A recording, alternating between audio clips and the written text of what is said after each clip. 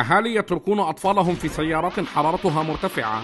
موجة جديدة تكتسح الولايات المتحدة ألا وهي نسيان الأهالي لأطفالهم في سيارات حرارتها خنقة في القليل من الحالات كان الإهمال مقصودا لكن الكثير من تلك الحالات حصلت بسبب نسيان الأهالي لأطفالهم.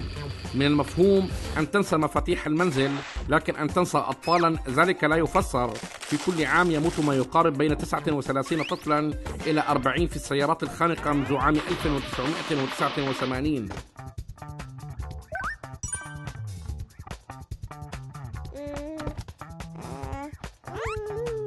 إذا كنت تنسى أن لديك أطفالا ربما من الأفضل لك أن تعرضهم للتبني.